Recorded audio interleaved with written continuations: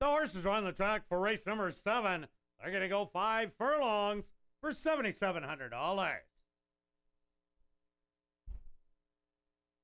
Number one is Two Grand, owned and trained by Ryan Jajarlis, Caleb Pizarro aboard.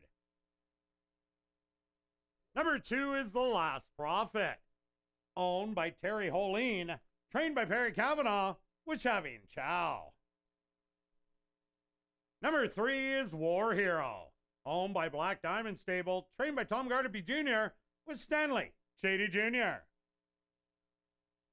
Number four is Witt's Cash Day, owned by Henry Witt Jr., trained by Jerry Gorno, with Dario Dalrymple. Number five is Blazing Gulch, owned by Tijuana Racing Stables, trained by Juan Pablo Silva, with Arthur Badu. Number six is Too Much Gone, owned by Tijuana Racing Stables, trained by Juan Pablo Silva, with Richard Mares. Number seven is Uncle Ron, owned and trained by Perry Kavanaugh, Alex Cruz aboard. Number eight is Tyler Biggle, owned and trained by Jim Donnelly, Ronaldo Cumberbatch in the saddle.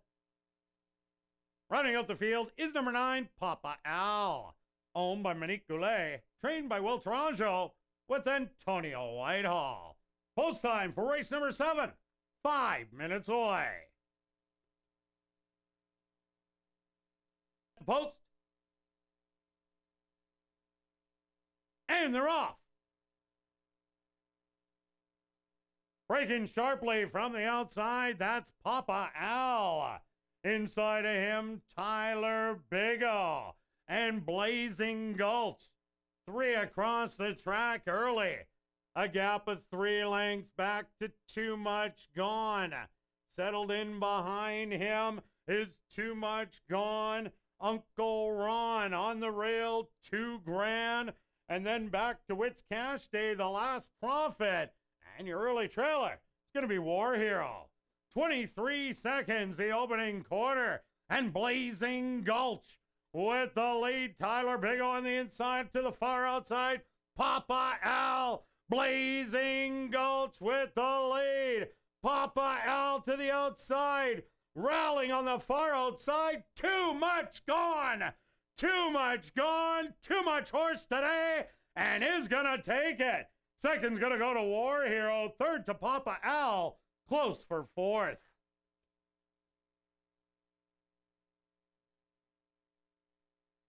Now entering the winner's enclosure. The official winner of race number seven. That's number six. Too Much Gone. Too Much Gone is the dark bear brown gelding, five years old, by Too Much Bling. Out of the mare, Going Away Baby, by Valid Expectations. Owned by Tijuana Racing Stables, trained by Juan Pablo Silva, and ridden to victory by, guess who? Richard Mares. Time for the five furlongs, one minute even.